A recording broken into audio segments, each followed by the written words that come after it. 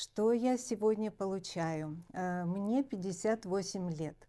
И я вам скажу, что те 18 лет, которые я э, потратила, но это неправильное слово, э, на то, чтобы таким образом голодать, приводить в норму свое состояние организма, оно дало свои плоды.